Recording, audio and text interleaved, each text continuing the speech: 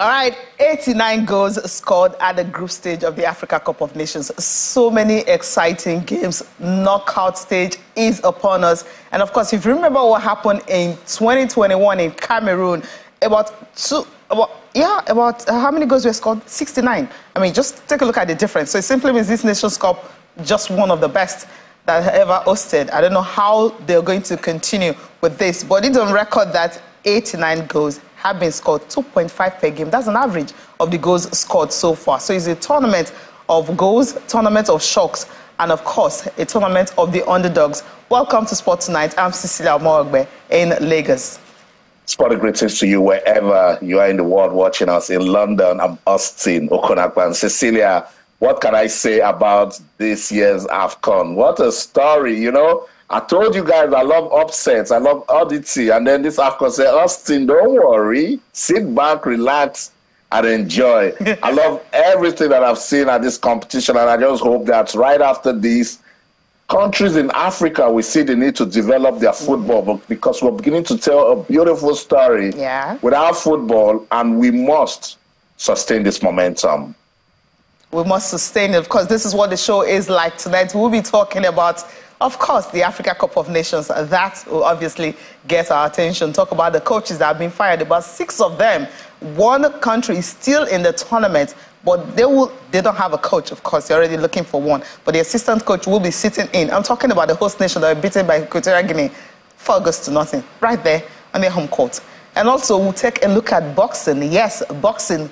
When we talk about mm-hmm. boxing, yes, talk about the men most times, but this time around, we'll be having a female boxer in the building that will be telling us her journey to success. I mean, the first Nigerian to win a world title. You can't beat that. Yes, we'll be talking to her on the show tonight. Of course, we're not alone on the program. Bolu is also here. It's a Tuesday. Bolu, I mean, AFCON has been wonderful. I don't know the tournaments of persons I've been watching, but this has to go down as the most exciting, most intriguing, most interesting Africa Cup of Nations ever. Mm. We've seen lots and lots of upsets. We have Africa Cup of Nations. Tunisia finished fourth in their group. we have AFCON. Algeria finished fourth in their group. We have AFCON. Ghana couldn't go through the group stages. Again. We have AFCON where the elite in quotes are falling behind. I remember uh, last time around when Comoros made it to the knockout stage. Oh, it's a fluke. The same manager that took Comoros came again with Mauritania this time. He's also in the next round. It just shows we have talent. We have these things in Africa. How can we harness it? Has always been the major challenge. Hopefully, we get to do these things right because this is definitely a big message to the rest of the world. Well, if you think you can underrate Africa, just focus on this AFCON. Have you heard any controversy about VR so far? No, because the world is watching, waiting for them to make mistakes. And I like that all through the group stages, every time the VR has been used, it's been positive and positive news. Hopefully, we will continue like this for the rest of the competition. Hopefully, continue like that. But we will not delve into AFCON yet. We'll be talking mm-hmm. boxing tonight. Yes, that's, that's where we'll Cecilia, start. you know. Elizabeth, okay. Yeah, when you were trying to, you know, talk about uh, this fantastic female boxer that will soon introduce to our viewers, you know, you saw the way I was smiling because I love the story. Yeah. Uh, we always come talk about the men, the men, the men, and we know that the women they always do their bit, you know, uh, to to represent Nigeria at the Commonwealth Games. You know, I can't stop saying it. All of the gold medals we won, the women did it. When the Super Falcons play, we know they will do well. The Falconets, the Flamingos, and each time we have an opportunity to bring women to the spotlight, we do that just to the government. We know that if you do good for the men, you must do better for the women. Let's introduce Elizabeth Oshoba. She is Nigeria's first female world boxing champion. I'll say it again. She's Nigeria's first female world boxing champion. As she hails from Ikare Akoko in Ondo State, southwest Nigeria, she became a professional boxer just in 2022, November to be precise, right after she won silver at the Commonwealth Games uh, in Birmingham in 2022. I spoke to Elizabeth right after she won silver, and she said she wanted gold and that the world will hear from her. Yes, indeed, the world is talking about her now, Cecilia, because on January the 13th, right there in Copenhagen, Denmark, she defeated Italy's Michela Braga to become the WBC Silver World Featherweight Champion. You know what? She's right here in the United Kingdom with me. She's in Bristol. Let's welcome the champ. Good evening, Elizabeth. Welcome to Sports Tonight. Good evening. Good evening. Awesome. Good to have you on the show. Congratulations. We are super duper proud of you for what you've done for not just yourself and your family, but for Nigeria and the continent of Africa. You are the Thank you WBC Silver World Featherweight Champion. Ah, Has this sunk in yet? How did you make it happen? Thank you very much. Um, it's just by the grace of God, you know. It's by the grace of God and um, um, with the hard work, dedication, and prayer. I think that is what really makes it happen. How difficult was that fight against Michela Braga? Um, um, to be to be honest, it was not an easy fight. It was a difficult and a tough fight, you know, because um, I was noticed. Um, I, I got a short notice, two weeks notice. I really got for the fight, and you know, it was a festive period, December time. That is when I get the the call that I need to fight in Denmark on January 13th. So it was um, December around um, Christmas period. So I was just at home, you know, trying to enjoy my holiday, enjoy my Christmas. You get so my manager just called me. Oh wow, you need to pick up your shoes. You need to get ready now. We're having a big fight in Denmark, January 13th. So I was like, wow, I can do this. Then he asked me, can you do it? I said yes. I'll do it by the grace of God. I'll do it. You know, it was a short notice, so that makes it a bit more um, tough the fight you understand? You know i had to train i had to i had to shed weight you understand? So it makes it a little bit tough for me but i know i'm gonna win i believe myself because of the hard work i've been putting in during the training you know? Because i had my um, previous fight before the one of january 13th on the november 25th that was when i get the ibo title so let's talk about your journey into professional boxing. I saw you in Birmingham during the Commonwealth Games, yes. and I asked you what you wanted. You said you were going to win gold for your fans in Nigeria and for your boxing career, but you won silver. That experience in Birmingham, you took it and you became a pro boxer in November 2022. Did that experience at the Commonwealth Games motivate you also? Yeah, it does. It does. Yeah, it's really, really motivate me because I was not really happy. I got the silver. Uh, you know, I'll thank God I won the silver medal, but I want I was aiming for the gold. I was going for the gold, so I wasn't happy. So then it came out that way that I had to go with the silver. But it's really, really motivate me. You know, to go more because I don't like when I lose. I don't like losing. You understand? As in Nigeria now, we know the carry last. So I like that. Let me hand you over to Cecilia in Lagos. okay. Uh, Elizabeth, you know, your story is very remarkable. You won silver at the Commonwealth Games and then you became a professional. And 2024, now you are a world title holder. What was the journey like for you? How did you, you know, get into boxing? And of course, why boxing of all sports? um, actually, um, I'm a sport lover right from day one. You understand? I love sports so much, but not boxing. I started boxing, let me say, 11 years ago when I was um, like 13 years because I was 24 now. So I started 11 years ago. So when I started, it's just it's just so funny how I started because my brother just went out and he came back and he was like, huh? he saw a boxing gym, a local boxing gym in my area at um. So to be to be precise, it was like I, w- I would like you to to do it because I saw a girl. She was really really like you, like the way you were slim and all that. I was like, no, I don't want to do boxing. No, I don't want to spoil my face. But due to my parents, they love sport. They love sport. They really really love sport as well. So mm. my dad you know, my dad was like, okay, let's go. Then he put me in the car. He doesn't tell me we are going to the boxing gym. You know, I won't follow him. Yeah. He just told me I need to follow him to somewhere. So I jumped in the car. Then he took me to the boxing gym. It was a local gym. So when I got there, I saw some females, you know, I saw some girls boxing as well, boxers. I was like, wow. So if these people see me outside, they will, will they beat me or what? So I said, uh, no, I'll do it. I'll do this. And that is how I started. Then I have passion for it. I love it. Then I started going on my own, and that is how all the story started. Interesting. I know that some people will tell you, you know, when they started sport, they had people they look forward to. When you now understand that, yes, it's boxing for you, Who were you looking up to? Do you have a role model or the, uh, some of the boxers you look up to you know, before you became a world champion? Um, yeah, I have a role model. Like um, I have a Mayweather. Um, I do look at him like the way you know he's a world champion and everything about him. I like everything about him, the way he fights, the way he boxes, and actually um, Claressa Shield as well. Okay. So when I, I want to do this boxing, like I want to take it as my profession. So I love Claressa Shield as well because um, she, because of her power, you know, she has the power, she has courage. So I watch her really, really well as well. So those are my role models. Hmm. No wonder you're 7 and 0, undefeated, right? yeah. yeah. Yeah, Austin. I like it. I like it. You know, when, when you said, um, is it Tigbo Ilu to the world, you know? So Yeah.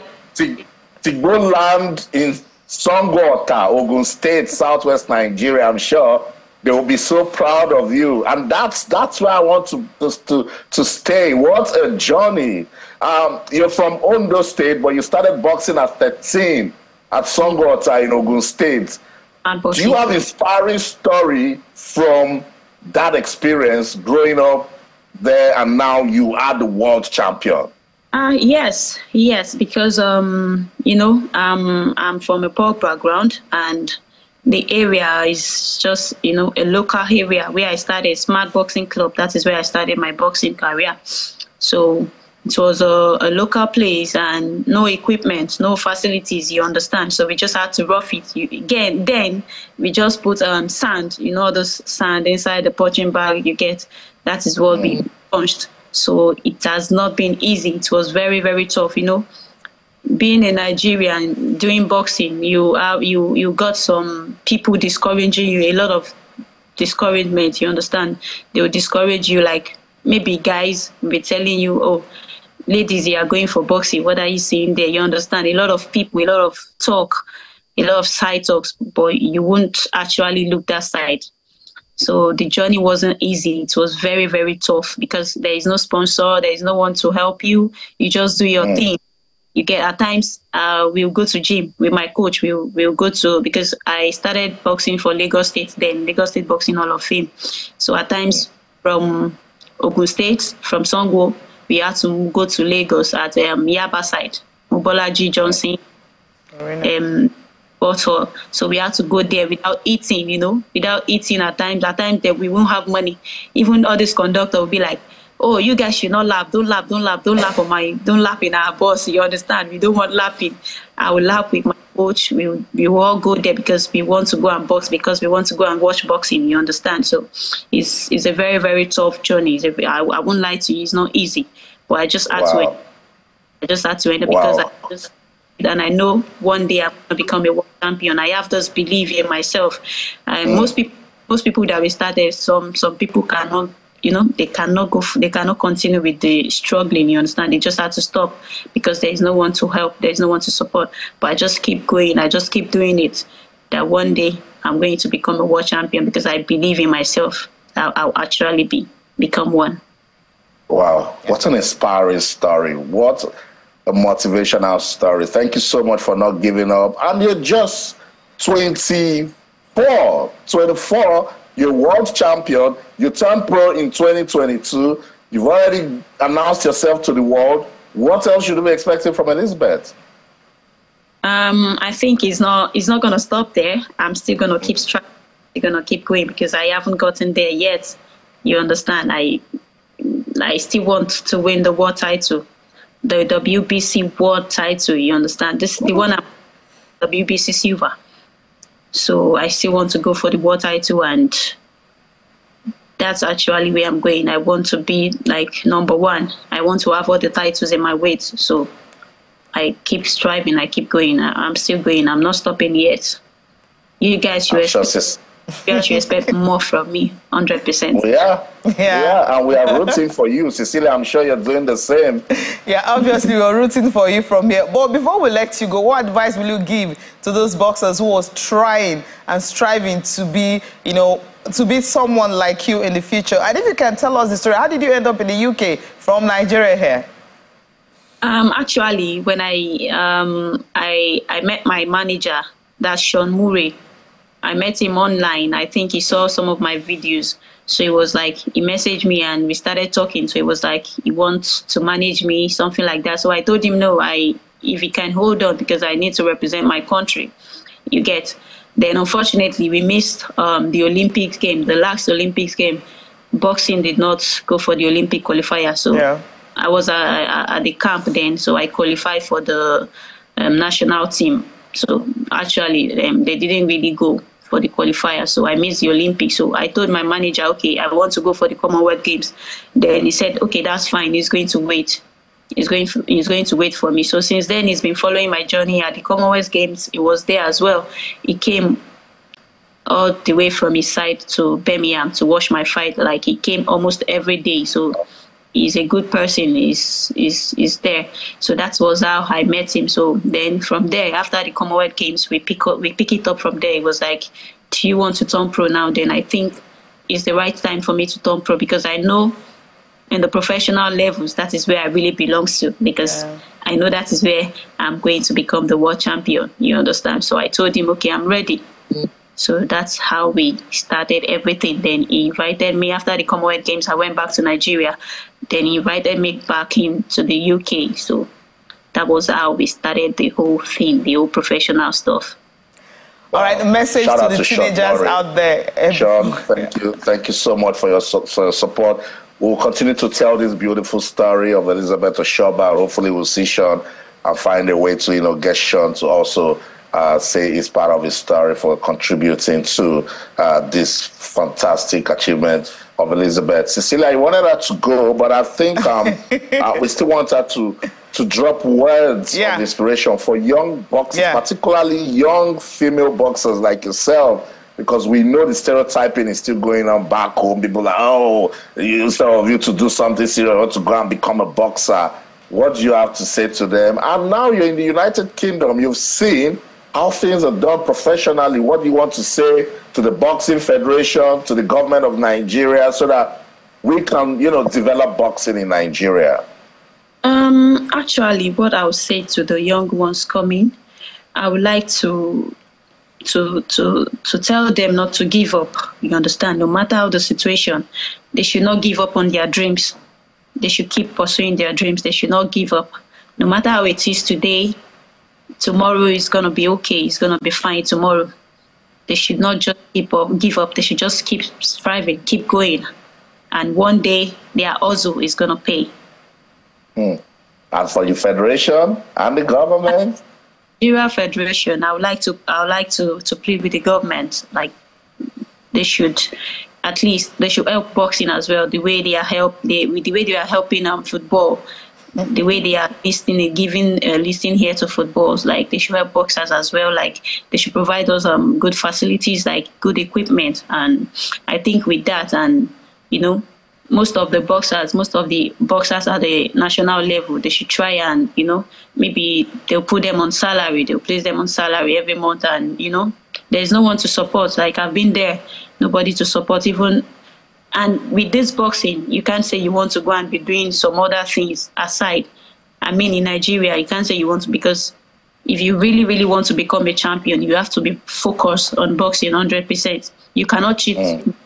Understand? You cannot cheat in boxing. Like you can't say okay i want to go and do some stuff again. Like i want to go and be walking or because when i was boxing i don't have the chance to walk. Because i know if i walk it's going to distract me from boxing because i realize yeah i want to go to work today i won't be able to train then how do i want to become the world champion how do i want to become a mm. ch- when there's somewhere someone out there training every day going to the gym every day. So will I say I want to go to work five days and go to the gym two days? How will I gain the you understand? How will I become the champion? How how do I want to do that? So I did not do any work. So I base I do only boxing because it's my Wow. prof- I, nothing That's is right. There, but I just keep doing it because I believe the hustle is gonna pay off. So if they can try and help, like maybe I know we have a lot of boxers in Nigeria, but maybe the ones at the national level, you understand, they should just try if they can be giving them some things like salary every month for them to survive. motivated. Yeah. People out there they really want to boss, but because they don't have they don't have this um, they don't have something to, to to to keep them you know they have to go and work they have to go back to Yeah. work and go and work and they left whatever they are doing at the gym they leave everything concerning boxing then they went to work so i just plead with the government and do that and provide some equipment as well training facilities so i Yeah. think we are Yeah. good to go like we have a lot of champions in nigeria a lot a lot of champions that they can become world champions too if they can support them WBC silver world featherweight champion Elizabeth Oshoba. Thank you so much for your time on the show. You've got an inspiring story. We'll continue to tell the world, and I hope you stay focused and keep ruling your world. Thank you so much for your time on our show tonight. thank you very much i really appreciate it. thank you So that's it. Uh, Elizabeth Oshoba speaking to us uh, from our base in Bristol, United Kingdom. What a story. We'll continue to tell it because it is one that can inspire young persons, not just in Nigeria, but all over the world. That's it. Let's go on this quick break now. When we come back, everything going down right there at the Africa Cup of Nations in Cote d'Ivoire. We get our attention. Don't go anywhere. Hey.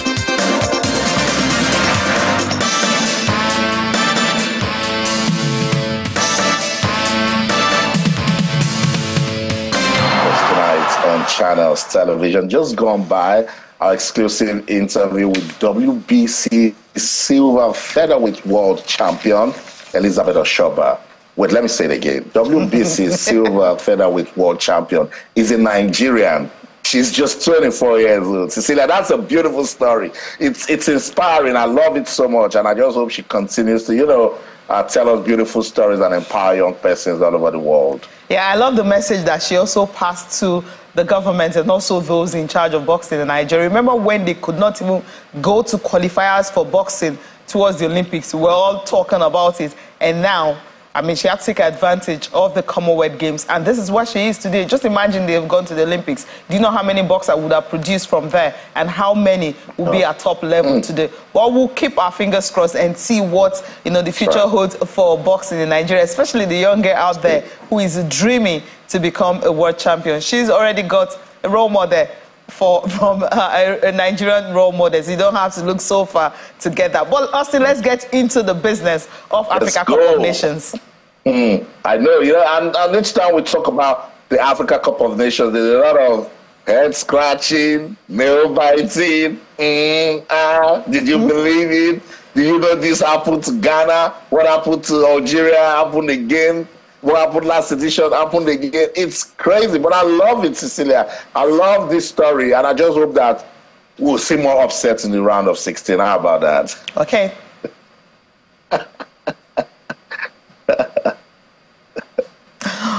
All right, to just get into the business of the Africa Cup of Nations. Apparently, someone is not following me. Okay, Bolo, you're here. I mean, the heavyweights are out. I mean, when I mean heavyweights, you talk about Algeria, you talk about Tunisia. But now we have the teams that are into the round of 16. Maybe we'll start off with the fixtures for the round of 16. And after that, we'll get to listen to what Nigerian players are thinking ahead of the Africa Cup of Nations. Now, on Saturday, this is how it all starts. Yes, it's going to start with a game between Angola and Namibia. That's 6 p.m. before Nigeria match, which is 9 p.m. That everyone will be looking forward to. Nigeria and Cameroon. We will dissect that on the program after uh, taking a look at the round of 16 fixtures. Now, let's go to Sunday, the games for Sunday. And that's where you have other heavyweights in action. Equatorial Guinea and Guinea uh, would be in action. The two Guinea teams, Guinea-Bissau, they've gone home.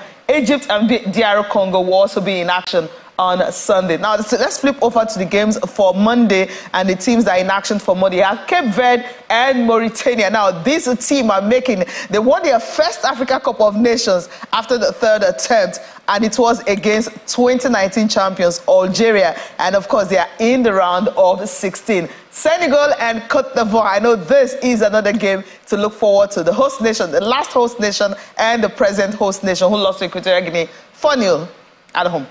All right, the games for Tuesday will wrap up the round of 16. Mali and Burkina Faso will be in action, and Morocco and South Africa will conclude that round of 16 matches. Now, it's the Super Eagles of Nigeria and Cameroon, and that's where we start off because, you know, when you're talking about the Super Eagles of Nigeria, they're so, I mean, how, where do you start from?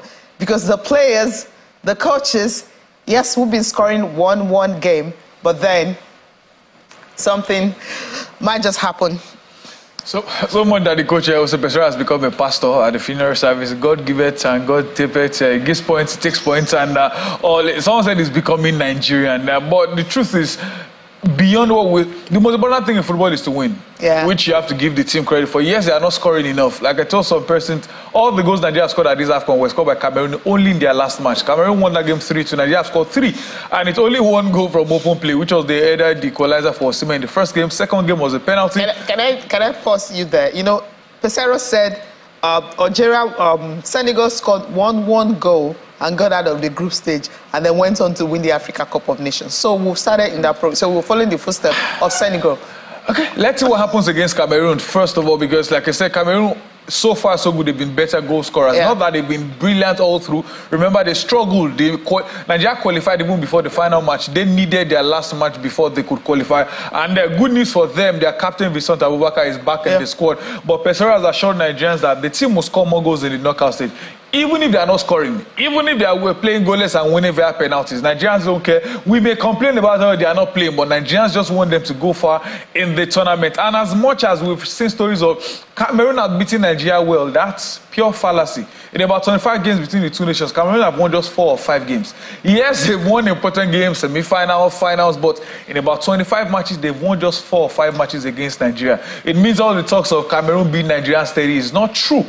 But this time around, this is pure business. Group stage, you have second chance or maybe third chance. In the knockout stage, it's one or zero. It's like binary.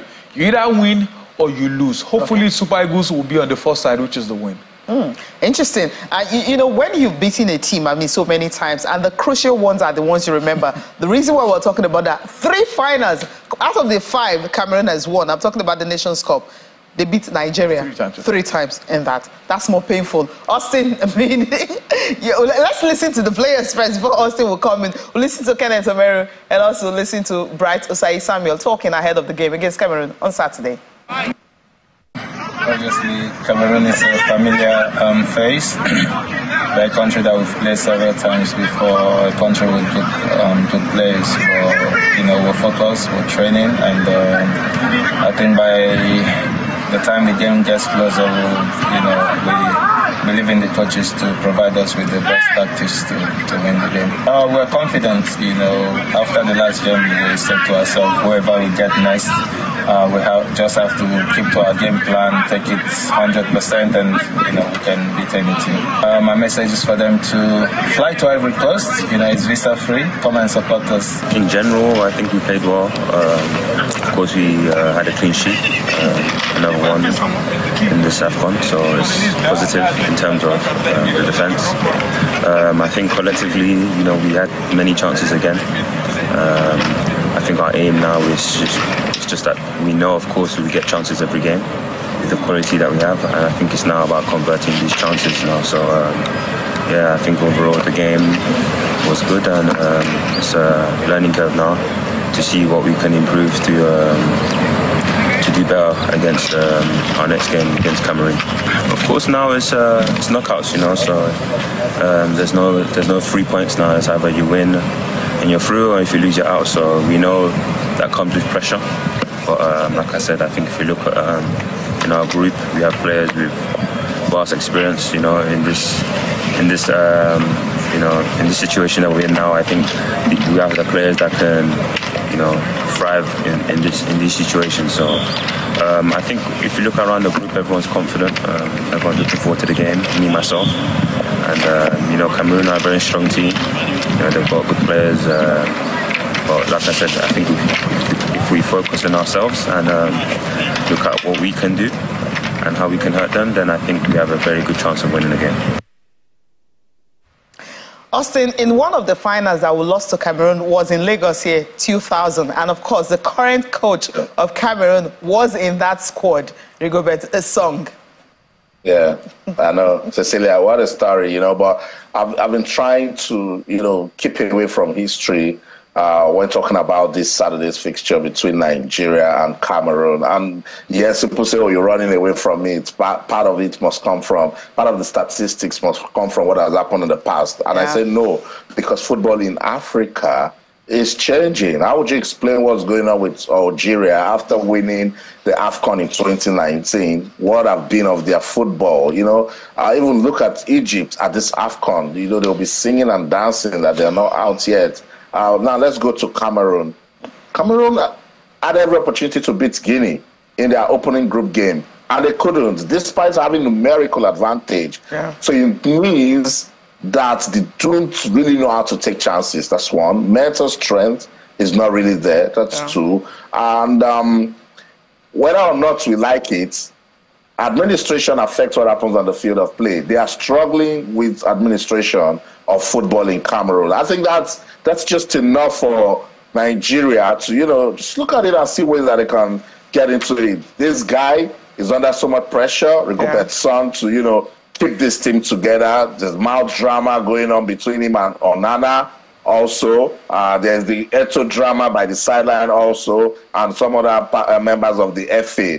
But people say, stay with the football. Yes, let's stay with the football. Against Senegal, they were taught footballing lesson. I don't think Senegal will beat Nigeria the way they did in that 3 1 win over Cameroon. And we know how they just won it by the whiskers against Gambia, you know, and that's why they are here. So people come out again to me and say, Austin, when the Super Eagles fantastic, by virtue of what we saw in the group phase, the Super Eagles had a better performance than Cameroon. They got seven points and they were able to, you know, win when they needed to win and of course also uh, stay relevant in that other Group A table. So going by that and everything that Kenneth Omeruo said, I'm bright to Sai Samuel talking about the quality that they have, talking about how pumped this team is towards playing Cameroon, talking about ways that they want to keep getting better. Because for them, it's all about sustaining the momentum.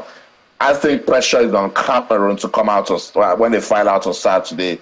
The Super Eagles they just need to keep their mental strength going they need to play more as a team now and learn to, you know, play without the brakes on. I think they need to be more daring. Yes, I understand Peseiro is trying not to take chances, but they need to be creative in the middle just so Victor Osimhen can get more supplies and do stuff. You know, I, I think um, it's going to be a very pretty difficult game. But the team that comes out with character, good show of mental strength, that will stay focused and play purposeful football, will come out to win. Cecilia. And the good thing is that Nigeria is sound defensively. I mean, you see teams like Egypt who have considered like six goals in the last three tournaments. They considered six in only this. So Nigeria defensively, we are solid. Where your defense is solid and your attackers are scoring, uh, Bolu, of course, obviously you win games. I think it's That's one, how it goes. This is one of the headache um, Peseiro will have for the next round because now, uh, from what we heard, uh, Troost-Ekong is back in training. Yeah. Obviously, if he's maintaining the same formation, go back to what we had against Ivory Coast. But now, Alhassan Yusuf is also back in training. So the question now is, will he go back to the formation they played in the opening game with Alhassan Yusuf there, or he'll go maintain this 3-4-3? If he maintains that 3-4-3, it means someone will have to sit in the midfield. Will it be Alex Iwobi? Will it be Frank Onyeka? These are things I expect the coach should have sorted by now, observe the training, try one or two things. Should I try out two men up front? You know, sometimes come out with the element of yeah. surprise and let them, if it's a promise and assure that they will score goals, it means it probably has some extra things in the back. Like um, the player rightly said as well, Sai Samuel, no second chances this time around. It's either you win mm. or you're eliminated. You can score 100 penalties each someone will have to lose at the end of the day. Like I said earlier, hopefully it's not Nigeria. And you have to agree 100% with Austin about you may or may not like the performance of the Super Eagles, but compared to Cameroon, Nigeria were better. And in terms of when they beat us in the last final in 2000, some of these guys who were not even born there, yeah. the ones that were born are probably last in those. So it means what happened then is probably not playing in their mind. It's the last time many of these guys or some of them played against Cameroon at the AFCON was in 2019 or 2021, and Nigeria won that game. So if there's a history they want, yeah. that should be something that will be ringing in their mind that we've done it before, we can also do it again. Mm-hmm. Let's do it again. That's the slogan. All right, let's take a look at the coaches that have been fired, unprecedented, fired or resigned or leaving their post. Six of them. Adel Amrouche, I mean, started it. Mean, he was suspended by CAF for six games. And of course, the coach had to let him go. But let's start with the Algeria coach. Yes, this was expected at the Africa Cup of Nations. Remember, this was the coach that actually led them to the Africa Cup of Nations in 2019. He won the title, and they came back in the next edition. What happened? They crashed out at the group stage. And this time around, again, the same coach and he had to leave his position. So Jamel Belmadi is no longer the coach of Algeria, and this is what he did at this AFCON. Three games, he did not win any. I mean, drawing two, and of course losing one, and that's why you have the Algerians are going home, and that's why he was fired. Then let's look at the other one. Uh, the next coach, of course, Jean-Louis Gasset. That's the coach of Cote d'Ivoire. That's why the problem is right now. They suffered their heaviest defeat at home at this Nations Cup, 4 goals to nothing against Equatorial Guinea. At the games he was in charge, was a 3 1 1, of course, losing a 2. They qualified based on the fact that Zambia could not get anything off Morocco and, of course, Tanzania, uh, Tanzania and DR Congo. And that's the reason why they were able to make it to this round. If Zambia had uh, maybe had a draw or even, you know, had a good game against Morocco, maybe winning, the Ivorians would have been out. But they are into the round of 16. Of course, you know the team that they will be facing. Maybe they will be ready to pack the So, Cecilia, who will lead Cote d'Ivoire now that they've sacked their coach? Exactly. so, what do you say? Who will lead Cote d'Ivoire now that they've sacked their coach? who will lead them? They, they have the, the, they have three assistants. So the third one will be in charge, uh, or will be sitting right there to lead the team in the game against Senegal. We'll see. so let's look at Chris Hughton, the coach of Ghana, after three games, the second time in a row, the Africa Cup of Nations, Ghana leaving at the group stage. Of course, they did not win any, losing one and drawing two. And that's why Chris Hughton was asked to go. So he's being fired. Let's take a look at not Tom Saintfiet. He had to leave his position. He resigned after three games, of course, three losses. And this is a very experienced coach. But the Gambia thinking they'll get something out of this Nations Cup couldn't get anything out of it. Tunisia, of course, that's another country you expect them to also go far at this tournament. And this is the result of Jalel Kadri. And when you have this result, that's how he had to leave his position. So these are the coaches that have left at the Africa Cup of Nations, of course. Why one is still in there, the others have gone. Now let's quickly, you know, take a look at these coaches, the record. Do you think maybe some of them were really harsh, you know, letting their coaches leave or they should have just maintained, especially their Ivorian coach? For some of them, it's like pedigree. For example, like Saintfiet, maybe he had a standard for himself that this is what I want to achieve. If I do not get it, I have to go. But I think, like Austin rightly said, the biggest surprise to be Ivory Coast. You guys had a chance to qualify. Yeah. Why let go of the code? Now there are some reports, I don't know how true, that uh, they're writing to France uh, to get Hervé Renard on loan and everything. Like, so Renard was, you know, he was at AFCON. I saw his, I saw him. So He's you the knew game. this drama would come. Why do you wait till now? So sometimes you think out of the box. You Yeah. think ahead of time.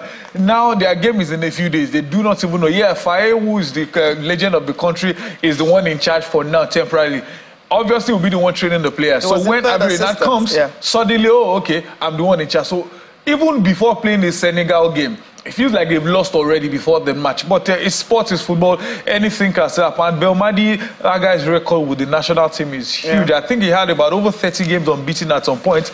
But since they lost their first game at the last AFCON, it's been from one poor result to another, more draws than losses. He just lost their six games overall. But in the end, some said he was sacked, some said he resigned. But the fact is, he's not with the national team anymore. This is what some of these guys do, okay, I can't meet up the standard I think I set for myself or the country. Let me just step down. I don't think some of these guys are a big surprise, except the Ivorians who had the chance to qualify. Now they've qualified, but they let go of the coach before playing round. It feels like um, sports sacking Jose Mourinho before the Carabao Cup finally led them to them. Austin, I mean, when you look at it, I mean, you were asking the question who's going to take charge. I mean, it's, it's, it's, I mean, it's unprecedented. I don't know how many countries have done that. We'll have to look at, we have to check, we have to look at the statistics and look at the facts. How many countries in the tournament. We understand that's of Tanzania and everything because he was suspended by CAF for eight games. They felt, okay, fine, you have no business being with us anymore uh, because he will not be there. But this one, it's shocking. Yeah, yeah you know, I, with Cote d'Ivoire, I, think, yeah, it was a painful experience. You know, as host, you just want to do just enough to stay at the competition. So, with everything that happened, look, even the coach does not even need to be sacked. He should just take a walk because uh, that defeat to Equatorial Guinea was just it was humiliating, you know, for the fans, for everybody. You know, I saw Drogba. If you if you just try to touch him, he'll start crying. You know, Salomon Kalou, same thing. Everybody was just in a very sober mood. So yes, I, I totally understand why they had to let go of the coach, Chris Hughton. I called it, I said it, that if they don't win their last game against Mozambique, he should just pack his bags and go because it is not working, whatever it is he brought, you know, to Ghana football. I just feel bad for two coaches, Jamel Belmadi of Algeria and Tom Saintfiet of Gambia.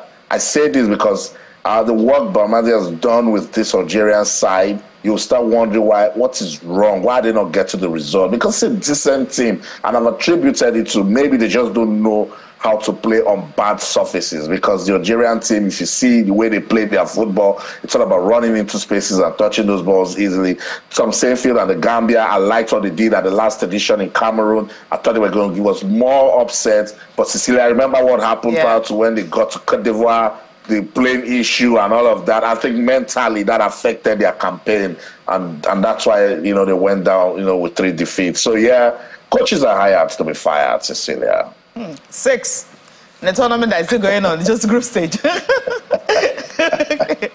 I mean, the Moroccan uh, teams are not. You, okay, let's look at the teams, of course, that didn't fire their coaches. Morocco is one of them. I mean, Morocco, they've had a decent run. Look, I mean, it's uh, it's a team, one of the favorites coming into this tournament. There's Mali there also. I mean, there's Senegal, of course, also another team. But the Moroccan team are coming here. Yes, you would say we wanted them to have like a 100% record. When you see the group they were in, you think, oh, they're going to have a 100% record. But somehow they stumble a little bit. But Moroccans are in the uh, in the round of 16, of course. South Africa is your opponent. Should South Africa be afraid? The Moroccans are coming. South Africans, they are not uh, more like, remember, this is their first AFCON, I think they missed the last two editions. Uh, for Morocco, they drew their first match, but they picked themselves up in the next two games. We thought the third match would probably be a draw, so Ivory Coast can remain at home, but they got the necessary because sometimes they place in the mind as well. Like Austin always says, sometimes you win your game, yeah. any sports off the field, even before you get to the field of play, and that's exactly what Morocco did. They knew what they needed to do. Now they are where they want to be. Against the Saudi not even I think they are the better opposition against the Bafana Bafana players, and uh, they need to show it on the field of play. See what Senegal are doing to their position. Immediately Senegal gets to the field of play, they start their dominance. So you will know we are the best. So you know we are the bosses. Don't even have any mindset of thinking of a comeback. I mean, with the way the sides are placed, it feels like everything is aligning for a Morocco or Senegal final. And that's probably what many football fans want to watch. Morocco on one side, Senegal on one side, there will be a worthy final. But if you don't get there, there's nothing worthy about the final. It is who gets to the final that matters. Look at Ivory Coast, the man they lost 4 0. Like why we say football is only winning.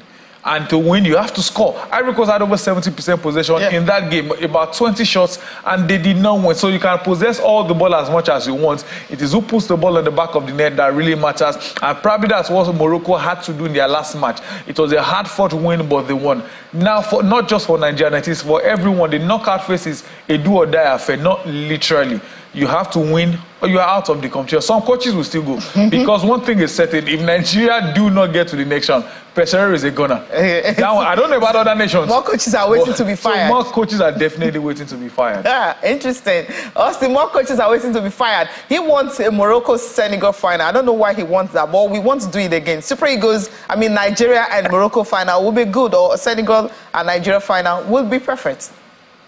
It will be, you know, Cecilia. so let's keep fingers crossed. All I don't right. know, Bolu. Some people will come for you. This is round of 16. You should start speaking well of the Super Eagles of Nigeria. And Cecilia, do you know the irony? Some of these coaches that have been sacked will come to countries that will sack. For instance, Nigeria will sack Peseiro and go for Chris Hughton. So coaches are hired to be fired. Let's not forget we're also monitoring action right here in England. Fourth round of the FA Cup Bournemouth, they are humiliating um, Swansea, I think by five goals to nothing. More action tomorrow in the FA Cup. That's the show. In London, I'm Austin Okon-Akpan. In everything you do, remember, let's keep talking sports. Bye for now.